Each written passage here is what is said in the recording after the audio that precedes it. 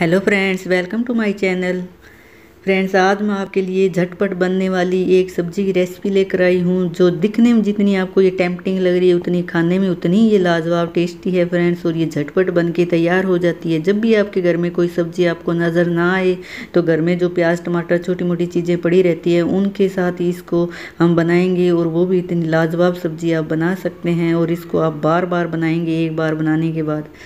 और तो फ्रेंड इस रेसिपी को आप लास्ट तक ज़रूर देखें, तभी आपको ये पूरी रेसिपी समझ में आएगी। बीच में स्किप ना करें इसको, क्योंकि इसका एक एक पार्ट बहुत ही इंपॉर्टेंट है।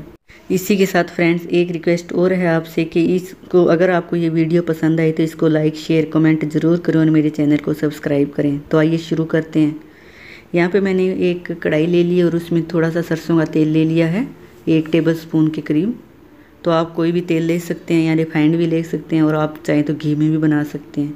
तो तेल हमारा गर्म हो चुका है और यहाँ पे मैं आधा टी स्पून के करीब मैंने यहाँ जीरा डाल दिया और थोड़ी सी मैंने यहाँ पे राई का इस्तेमाल किया है। जब जीरा और राई क्रैकल होने लगे तो इसमें हम ऐड कर देंगे प्याज। ये प्याज मैंने दो मीडियम साइज़ के लिए हैं फ्रेंड, और इनको लंबा लंबा मैंने काट लिया है और इनको अभी भून लेना है, फ्राई कर लेना है। और ज़्यादा हमें आँच जो है, वो मीडियम रखनी है। और इसको गोल्डन ब्राउन नहीं करना है इसको ट्रांसपेरेंट होने तक ही हमें इसको पकाना है। कम से कम दो तीन मिनट तक हमें लगातार इसको चलाते रहना है तो ये ट्रांसपेरेंट हो जाएँगे। अब देखिए फ्रेंड्स ये दो तीन मिनट बाद ये ऐसे हो गए हैं तो अभी इसके बाद हमें ऐड करना है इसमें लहसुन का पेस्ट यहाँ पे मैंने एक टीस्पून लहसुन का पेस्ट डाल दिया है। और इसको भी एक मिनट के लिए हम चला लेंगे। और साथ में मैंने हरी मिर्चें डाल दी हैं। दो तीन हरी मिर्चें ये कटी हुई मैंने डाल दी हैं इसमें। आप तीखा ज़्यादा पसंद करते हैं तो ज़्यादा डाल सकते हैं। और यहाँ पे अभी मैं काट, यहाँ पे डालूँगी फ्रेंड्स, एक लंबा कटा हुआ टमाटर। ये लंबी स्लाइस कटी हुई है इसकी। ये भी हमें प्याज की तरह ही काट के इसमें डाल देना है। और साथ में मैंने थोड़ी सी यहाँ पे कसूरी मेथी का इस्तेमाल किया है। इससे इसका फ्लेवर बहुत ही अच्छा आता है। तो इसको भी इसके साथ ही आप फ्राई कर लें।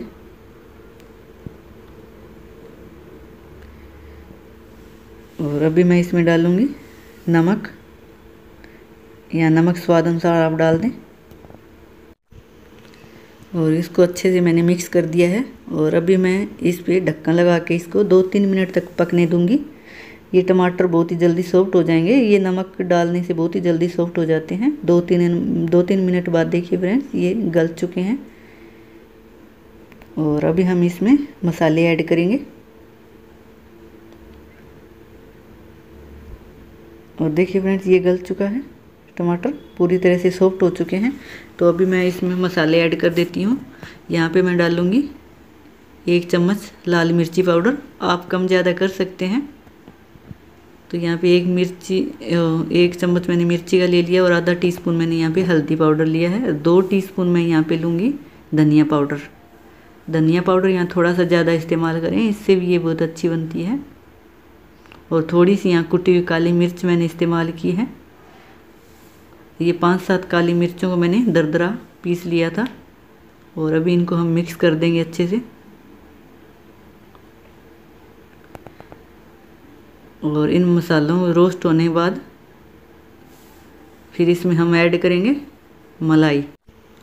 तो देखिए फ्रेंड ये मसाले हैं जो पूरी तरह से भुन चुके हैं। अभी मैंने यहाँ पे चार टीस्पून के करीब मलाई ली है और ये फ्रेश मलाई है फ्रेंड्स और आपको फ्रेश मलाई लेनी है, उसी से इसका टेस्ट अच्छा आएगा। और इसको लगातार आँच बिल्कुल स्लो पे रखनी है आपको, और इसको अच्छे से मिक्स कर लेना है।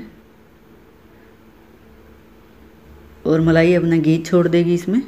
तो उसके बाद हम इसमें ऐड करेंगे दही। और ये देखिए फ्रेंड ये पूरी तरह से मिक्स हो चुकी है। घी छोड़ दिया है मलाई ने।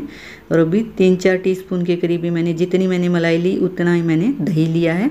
दही बहुत ज़्यादा खट्टा नहीं होना चाहिए फ्रेंड और बहुत ज़्यादा मीठा भी नहीं होना चाहिए और बहुत ज़्यादा खट्टा भी नहीं होना चाहिए।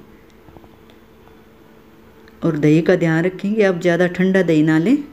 रूम टेम्परेचर पर आप दही ले लें और इसको ढक्कन लगा के दो तीन मिनट तक फिर मैंने पकने दिया और देखिए फ्रेंड दो तीन मिनट बाद ये पक के बहुत ही तैयार हो चुकी है और इसके जो घी है, ये रिलीज़ हो गया है और अभी मैं ऐड करूँगी इसमें थोड़ा सा पानी और पानी डालने के बाद इसको दो तीन मिनट फिर से हम पकने देंगे।